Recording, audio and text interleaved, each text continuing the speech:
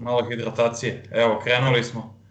Mm -hmm. e, dobar dan, dobrodošli u današnje izdanje naših ovih dnevnih razgovora na Roland Garrosu. Zadovoljstvo mi je što mi je danas gost jedan čovek sa kojim uvek rado razgovaram jer posjeduje tu kombinaciju koja je idealna za novinare, e, naravno mnogo više zna od nas, a istovremeno je spreman to da podeli i da, i da govori bez lake na jeziku, što, što je za nas super i zato, zato smo ga odabrali da, da sa njim najavimo ovaj, još jedan u nizu istorijskih mečeva Novaka Đokovića i Rafala Nadala. U pitanju je Petar Popović, e, Pera je trenutno sa Andreom Petković u Berlinu, za njih već počinje sezona na travi. E, znate ga verovatno najbolje kao trenera Ive Karlovića sa kojim je osvojio, ako se ne varam, tri titule i bio u top 20, posle verovatno i po onom ludačkom slavlju nakon pobede Filipa Krejinovića u da. polufinalu Mastersa, Mastersa u Parizu, radio je Pera i sa Olgom Danilović kratko, sa, sa Damirom Džumkurom, tako da eto jedna, jedna zavidna biografija i veliko tenisko znanje i drago mi je što će nam pomoći da, da predstavimo i najavimo taj meč. Hvala Pero što, što nam se pridružuješ iz Berlina. Hvala vama. Ovo je, ovo je opuštena ono priča, tako da možemo da ne persiramo sve cool. Aha, važi, važi. Ovaj, pa, od čega da krenemo? Ajde možda da krenemo od istorijata Novaka i Rafe na Roland Garrosu. Igrali su do sada osam puta, 7-1 je za Nadala, ajde da kažemo možda one prve tri godine, 2006. 7. 8. Novak nije bio to što jeste sada, ali bilo je nekih mečeva koji možda mogu da nam budu pokazatelj. Meni je bio najbolji onaj iz 2013. godine, ono polufinale. Ne, ne znam koji je tebi onako ostao najupečatljiviji. Pa mislim, igrali sad toliko mečeva da ne mogu da izdvojim, ali svakako protiv Rafe igrati u Parizu je, mislim, najveći teniski challenge koji čeka Nole. Tad Nole zna šta treba da uradi da ga, da ga pobedi, jer je to već uradio ne znam koliko puta do sad u karijeri. 30-ak, tako da ovaj, ja mislim da će biti nevjerovatan meč i da će biti ovo možda najozbuljiviji do sada i što su igrali. Jel da, kažeš Novak zna šta treba da uradi, pa ajde, kad si usmerio priču u tom smeru, šta je to što treba da uradi? Pa mislim, mora stoji što bliže liniji, nikako da ne da da ga odalji Nadal sa spinovima, zato što je ove godine još loptice još više skaču nego normalno i mislim toplo je u Parizu, tako da mora da kupi rano lopticu i da udara prodorno i hrabro od samog početka.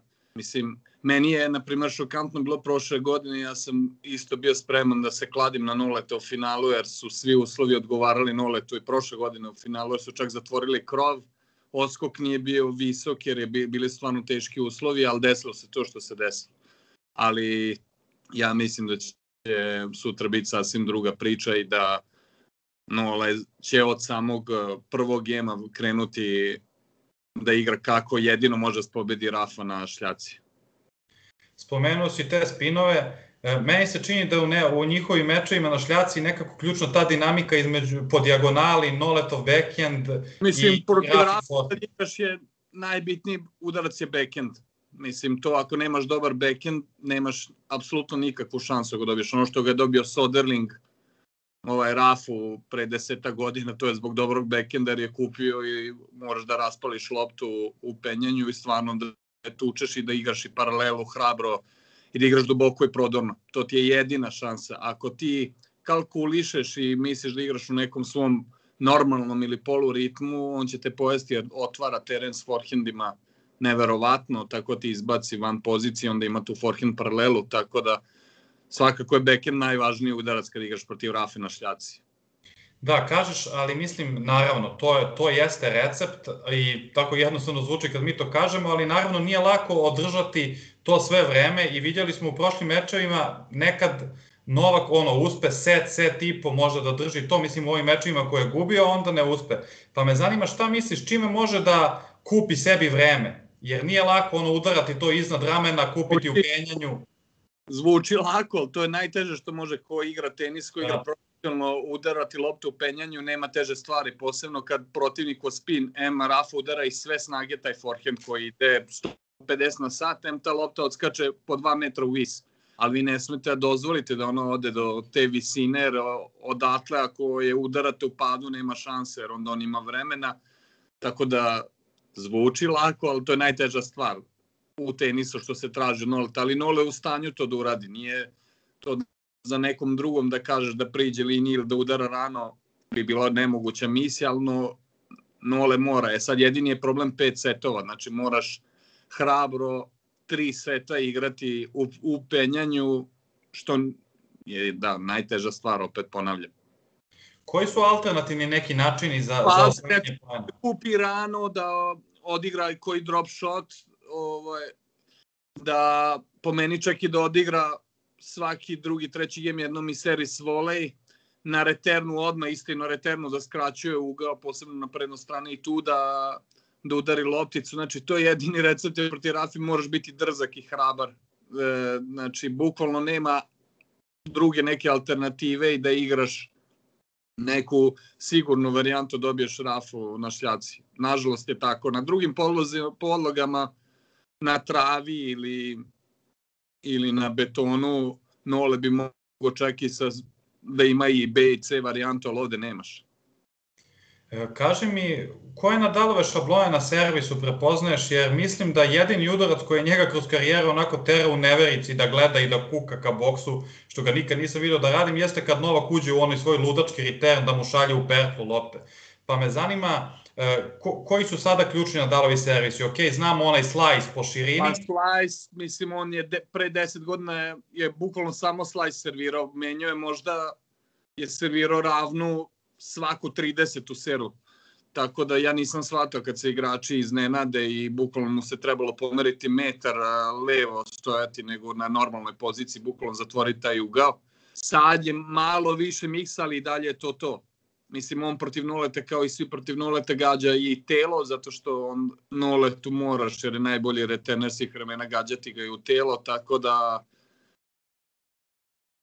ja ne, ne plašim se nekako Noletovog reterna, a sutra više se plašim da se ne odalju u jednom trenutku, da ne krene da igra malo pasivnije i, i to je to. Mada Nole, ja mislim, s tolkim iskustvom i oni znaju, zna i on sam šta mu je činiti i koja mu je jedino šansa, tako da da su Vajda i Goran i ovo sigurno su oni svesni šta sve treba raditi. Novak je baš govorio na konferenciji da, o, da, da mora da napada, ali mislim on često koristi tu, tu taj izraz kontrolisana agresivnost, dakle da napada, ali ne po svaku cenu i mislim da baš to prošle godine ga je koštalo to što je malo bezglavo u nekim trenucima prerano hteo da završi poen, a to ipak koliko god moraš da rizikuješ protiv Nadala, to ipak nije njegova primarna igra. Jeste, pa nije samo napadati kao napadati, nego pozicija na terenu je znači, mnogo još bitnija protiv Nadala. Ne sami udarci, nego koliko ti trebaš da stojiš blizu linije. M je ovaj Filip Chartrier od najzahtevnijih terena da imaš po 12 metara iza, jer je najveći teren na svetu po širini i dužini, tako da se nekad, mada sad nula ima ekstremno puno mečeva tamo, ali mnogi protivnici protiv Nadala se izgube i ne znaju da su u stvari 5-6 metara iza osnovne linije, jer im to je toliko ogromno da se izgube u prostoru. Znači, ekstremno je bitno tvoja pozicija na terenu protiv Rafe. E, bio si ovo, dok si pričao, načao si dve teme o kojima sam želeo da te pitam. Jedna su lopte, dakle, samo da kažemo, dugo se na Roland Garrosu igralo sa Uh, igralo Babolatovim loptama, sada se igra Wilsonom, ovo je druga godina, ajde da kažemo da ova prošla nije bila reprezentativna toliko zbog uslova. Uh, Pa mi kaže koja je najveća razlika, mislim ti si to osetio i igrao si i trenirao pa, da. terenima, i kome to više odgovara, e, Novaku ili Rafi? Pa mislim, po meni o, prošle godine je bilo toliko ladno i vlažno, e, sad da li su se promenile loptice, ne znam, jer su uslovi bili noć i dan naspram ove godine. Znači ove godine lopte odskaču, kao što sam rekao, dosta ekstremno visoko, što svakako odgovara rafinom spinu, ali u isto vreme su i prodorne, onako brže loptice, ako se opali dobro ravna, ona prođe kroz teren i znači ono sklizne lopta, tako da opet kažem, prošle godine sam bio ubeđen da uslovi odgovaraju Noletu, da se sve poklopilo, da ga Nole očisti, indoor i čak sam ja i prognozirao za par televizija da će Nole to dobiti, onda na kraju ispalo 6-0, 6-2, 7. Pa se nisi javljao 7 dana na telefon. Ej, učio sam Whatsapp i to. Ali, ovaj, tako da vidjet ćemo. Znači, lopte su uh, presije odskakalo na Roland Garrosu, a ovo ovaj ja mislim još 30% više odskače. Dakle, dobro, neke, aj možemo zaključimo, neke karakteristike lopte odgovaraju Rafi, neke Novaku. E, misliš li... Više Rafi. Više Rafi. Dobro, kaži mi, uh, večernji termin neće biti, ali meč počinje ne pre 17.30, a Cicipas i Zverev počinju u 14.50, dok izađu na teren, dok se zagreju. Da. Znači oni ako ga baš oduže, postoji mogućnost da neki deo E, meča Đoković Nadal bude igran po, po večernjim uslovima. To bi trebalo da odgovara Novaku. Pa to apsolutno odgovara Novaku, jer nema ništa bolje nego igrati protiv Rafe u večernjim uslovima, jer onda ti spinovi odskaču bukvalno pola metra razlike od skoku ovaj, kad se igra uveče. Tako da je, kad igraš po punom najjačem suncu protiv Rafe je pakao, zato što onda su odskoci, kažem, i preko 2 metra, onda igraš stalno iznad ramena i to je jako, jako teško igrati. Znaš šta me često ljudi pitaju i volao bih, volao bih ti da objasniš kako to funkcioniše. Recimo, baš tako kad su igrali Đoković i Nadal u Rimu, obojica su na konferencijama za medije, iako ih niko konkretno ništa nije pitao o tome, obojica su sami skrenuli vodenicu na temu vetra, o tome kako kad se servira protiv vetra, kako je u stvari teško zadržati servis i obrnuto, e, ali to je nešto što gledalci ne vide na televiziji. Pa ajde nam objasni sa stručne strane kako, kako to funkcioniše. Pa prvo Nole, ja znam, on je čovjek koji možda i najviše mrzi vetar, on to gleda. E sad po vetru je svakako teže naći ritam na servisu, niz vetar je lakše jer vam pomaže, znači tu možete koristiti i kick servu koja mnogo još više otvori teren i pomogne vam vetar, dok protiv vetra treba servirati više ravnije i slice, tako da šta ja znam, ja sam trenirao pre toga možda šest godina najboljeg servira svih vremena koji je servirao čak i bolje po vetru. Tako da, zaista kako se prilagodiš ko, koju visinu izbačaja imaš, ako imaš veliki, visoki izbačaj je jako teško po vetru uvatiti ritam. Znači, znači Del Bonis ne može da servira po vetru. Ne može, on normalno ne bi trebao i Del Potro, ali on nekad dođe i odservira i po vetru dobro, ali njima je svakako mnogo teže da uvate ritam. Tako da je vetar, a Noletu zato što on ima ravnije udarce i vetar šta radi u tenisu, on izjednači razlike. Znači ako igrate protiv, ako ste peti na svetu igrate protiv 200, tog razlika će bukvalno biti jako malo. Jer onda više ne mogu da se potežu udarci, onda više ne igrate blizu linije, nego igraš metar, metar i pod linije, jer nikad ne znaš vetar u kom trenutku kako će dunuti i velike su razlike da li igraš protiv konstantnog vetra, znači koji duva svo vreme u istu stranu, onda se igrači i prilagode, ali nekad na centralnim terenima zna vetar da se odbije od tribine, znači da ide levo, desno i da šara i to je pakao za igrati. Da, verovatno pakao i za nerve, mislim. Da, i za nerve, posebno da, nole tu je tako i za nerve, da.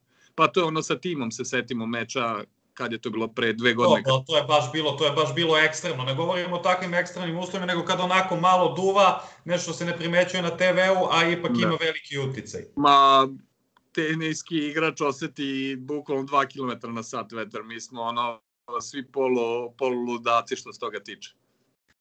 Znaš kao, i mislim za Novaka, on je nekako svoje carstvo izgradio na tajmingu, da tome ono u milisekundi precizno tačno udari loptu, znači on baš nema na vetru, baš mu ne odgovara njegovom stilu igre. Pa njegovom ne odgovara, a M steg, stegnuti smo što ima više vetra, ne teže se opustimo i mnogo više energije se troši na nameštanje, jer do zadnjeg trena moraš dobro se nameštaš nogama, bukvalno radiš 25% više nogama po vetrovitim uslovima, tako da ovaj svakako igračima ne uživaju. Federer, evo, na primer, je igrač koji najbolje kontroliše vetar od svih koji igra po vetru gotovo da se ne primeti na televiziji njegova razlika u igri.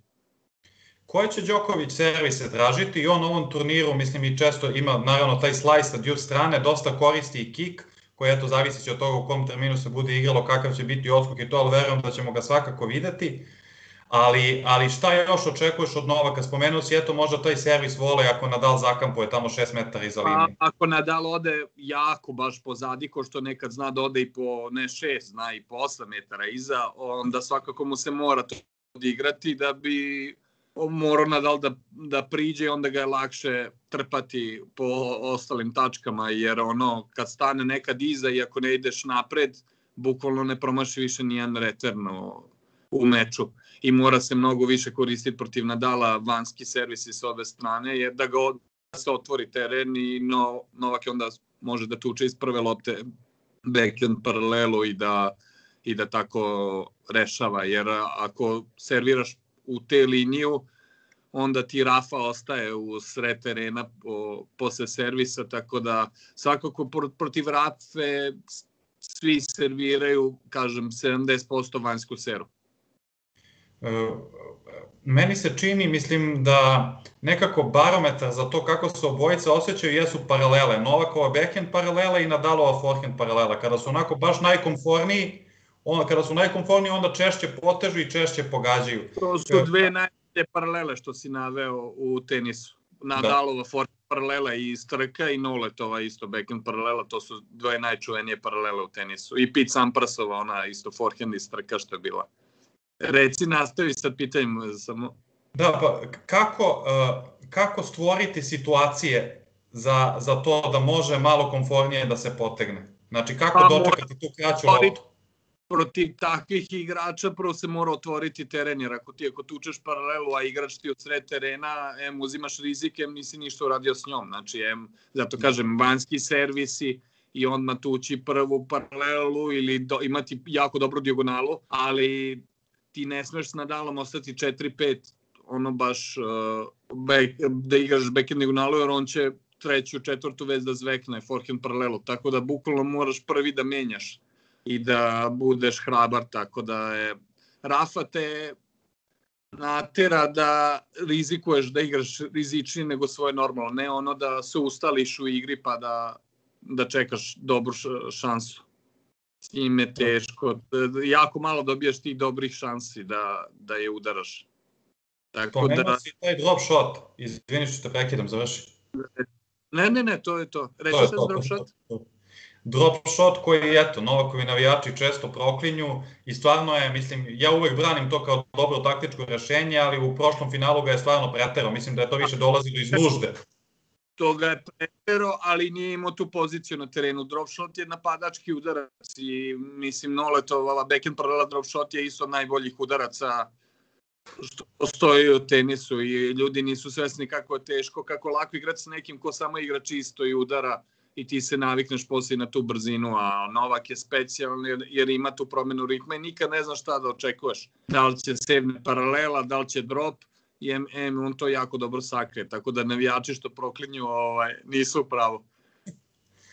Da, dobro, mislim sad da te pitam za prognozu objektiva nisi. Nisam objektivan, mislim, na, voleo bi, ali ja mislim da je 55-45 za, za Rafu, mada bi ja voleo svim srcem da dobije nole, ali kažem, moraće da igra baš hrabro uh, tri seta da, da pobedi. Dobro, znači očekuješ u svakom slučaju mnogo uzbudljiviji meč, možda i svih pet setova. A da, da, ma ona prošle godine je e, nije uopšte realna bila situacija, ni prošle, ni ovo, ali dobro, svašta se dešavalo mesec i po pre tog meča, tako da bilo to mnogo stvari. A reci mi, koliko misliš da upravo to pred, pred to prošlo finale stvorila se atmosfera da je Novak favorit, i svi su govorili o tim uslovima i mislim, ok, sve je to bilo realno, ali možda je, možda je to stavilo dodatni pritisak na Đokovića. Čini mi se da sad u najavi ovog meča da je više ono kao Rafa je apsolutni favorit, a Novak kako nešto uradi, uradi. Koliko to može da, da ga opusti? Mislim, znam i uprko svom tom iskustvu, znaš, uvek se desi neka nervoza. Da, ali Novak je šampion, tako da on sam sebi napravi pritisak njemu, to medije, ali on je ono rođeni pobednik, tako da Nole, ako odigra fenomenalan meč i izgubi, neće apsolutno biti srećan. Tako da on sam sebi napravi pritisak i on ulazi u svaki meč da pobedi, tako da da eto, čeka nas vrlo zanimljiv, interesantan meč, po meni najbolji.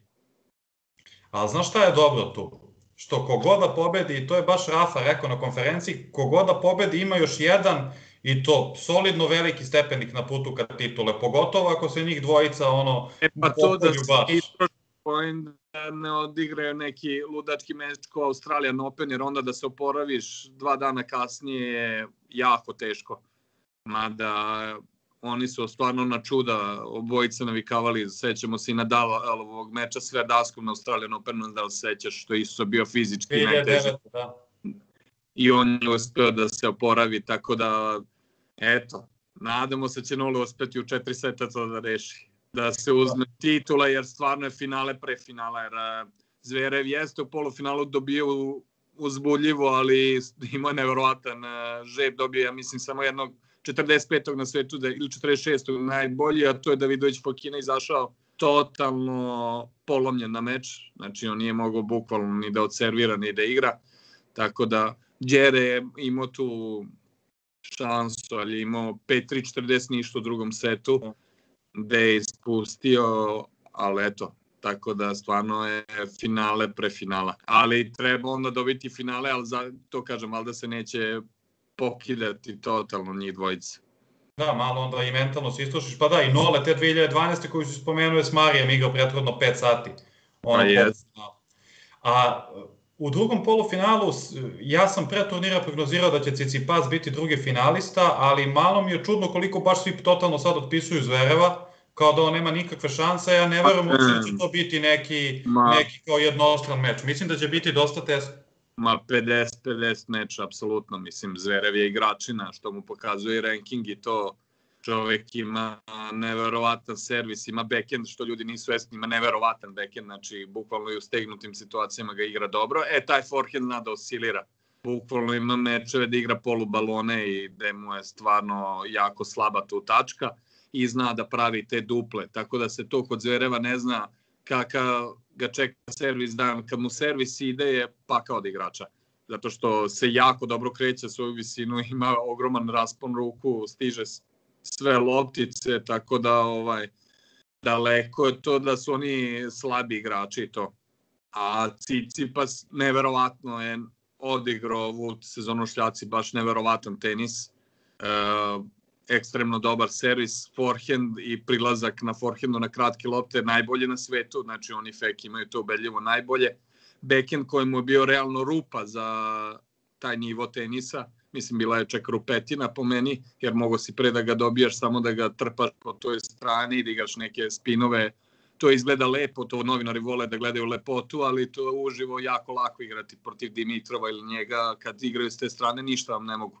E sad je počeo čak uh, Cicipas da prelazi nekad i da igra tu backend paralelu. Jeste to traljavo izgleda kad gledamo mi profesionalci, ali ubacuje sada i atleta je neverovatna Mislim, da, što mislim da se pocenjuje. Pocenjuje se njegova defanziva, upravo zbog tih izlazaka no. na mrežu i forehanda, on je u odbrani fenomenalan. Pa neverovatne atleta, neverovatne atleta. Kažem, jedina mu je rupa bila, jer protiv njega je stvarno bila uvek i B opcija da mu se igra spin po bekendu i onda si dobio drugu, treću ili kratku ili grešku, sada je toga sve manje i manje. I sad je toliko dobar fizički da on čak i ako odigrate malo loši spin, on stigne se okrena oko forehenda i ali u čemu on strči naspram drugih, prepoznaje kraće lopte bolje od bilo koga na svetu. Vidi se da je to rađeno od malena, on na svaku kratku uđe 3 metra u teren i rešava s forehandom, tako da ima dobar backhand slice, nalažljive na mreži, mislim, pakleni igrač. Upravo sam to hteo sad da ti kažem, taj backhand slice čini mi se da je dosta radio i jedno vreme bilo problema i sa pozicijom, nekako nije se dobro na meštu ili kasni ili, ili onako mu uđe lopta u telo, sad to izgleda mnogo bolje. Izgleda, izgleda mnogo bolje. Ja baš i ne cenim te igrače što imaju jednoročni backhand, sem Gaskea, Cole Scheibera, ili to ovi ostali stvarno samo lepo izgledaju, ali nije to ništa. Kad ste preko puta njih, nije vam problem. Ali, ali vidiš et... ima sve više. Jedno vreme je bila, izvini, jedno vreme je bila oseka tih igrača, sad ono poslednjih godina sve više u vrhu. Evo imamo sad tima, dobro Vavrinka je sad pao, Šapovalov igra jednoručni beket, ba baš dosta jednoručni beket. I ima, pa i ovaj Museti ima strašan beket da. šljac. Ali, na primjer, igrate s Musetijem u Šangaju, negde gde je brz hard, teško će on to bilo šta raditi iz tog udarca. Samo mu stanete i raspalite mu ravnu, imaće ogromnih problema. Tako da, ne znam, ja, ja sam veliki zastupnik za dvoručni backhand, to je sad modern tenis i jednoručni izgleda lepše, otvara se bolje teren s njima, ali sad smo da skrenuli na drugu temu, ali eto. Neka, nema veze, malo digresije. Dobro, ovaj, i kažeš 50-50, ako bi morao, kome bi dao malu prednost? Cicipasu, ajde, onda 50,5, 49,5 da, tako ćemo, ajde. Znaš kako, ti i ja smo se dopisivali, ono što sam te pitao, dobio sam pitanje jednog od gledalaca i mislim da je najbolje da ti objasniš e, o čemu se tu zapravo radi, zašto su pozicije trenera na stadionima, na tribinama onakve kakve jesu i zašto vi to mrzite toliko? Pa mislim, to je katastrofalno, ja to ne razumem, to sam, pošto sam ja deo borda, ono ATP trenera, odem, e, mislim, tražio sam da imamo najbolja mesta, što je normalno u sportu, treneri su bukvalno na terenu, je najbolje uvek biti iza, iza terena, iza osnovne linije, gde tačno možeš da vidiš, a nas postavljaju sa strane, negde u ćošak, gde je jako teško vidjeti bilo šta i taktiku i gde je lotica odskočila, tako da nerazumljivo. Ja nemam ni jedno objašnjenje da ih odbranim. Oni su se branili kako prodaju, da su to najskuplja mesta i onda da prodaju sponzorima i to, i, ali onda ne shvatam ko, ko su prioriteti tu. Pare tamo, Burgija neće. Tamo se, no da. Znaš da, kako ja obožavam novinarska mesta, najviše na svetu volim da su za online glenu, jer su iza igrača si ono i prvih pet redova, od toga nema ništa bolje, znači nema boljeg sporta nego tenis kad ga tako gledaš. To je najbolje, i tačno osjećaš i brzinu i taktiku i vidiš geometriju kako se igra, ko šta radi, dok sa strane izgubiš totalno osjećaj, čak i mi koji znamo tenis, izgubimo osjećaj e, ko šta radi taktički. Meni je jako teško pratiti sa strane. Ja stalno pokušam da odem iza i sada za vreme covid mi prilaze pa me kaže da se vratim ono mesto jer smo kao izolovani od publike i onda stalno natezanje, ali eto, to, to baš uh, mrzim tu poziciju na terenu da je nastavljaju. Mogu da zamislim kako te rasprave izgledaju. Pa da, mislim, ja prvo pokušavam sve to prijatno i lepo, ali onda nekima ne možeš pa moraš, ovaj, ali eto. Dobro, baš me... Da. Šta si teo kažeš? Ma baš su me i na Srbijan Openu, gde sam sedeo iza i lepo teo da gledam Andreju, isto su me postavili sa strane, i, a gde je apsolutno bio, igralo se pred praznim stadionom. Ovaj, tako da tu nisam video baš nikakvu logiku. Pa dobro, ovaj. znaš šta, mislim, u, ovim, u ovim sadašnjim uslovima, baš koliko sam shvatio, su i ATP i WTA baš rigorozni u vezi s tim protokolima, tako da ono, verovatno su htjeli da poštuju to do kraja. Dobro. Dobro, eto. Znaš da kako da ih odbraniš. Dobro. E, slušaj, hvala ti mnogo. Mislim da će ovo baš značiti našim gledalcima da se malo malo više u stvari da se propisno zagreju pred e, dva ova meča, pogotovo za duel Đokovića i Nadala, a mi ćemo nekom drugom prilikom da vodimo još širu priču, malo da pokrijemo i eto načas i malo tog muzetija, da pokrijemo ove mlade nade, da vidimo ko šta tu može. Hvala da, ti da. još jednom i, i čujemo se. Važi, hvala, pozdrav. Ćao ljudi. Ćao.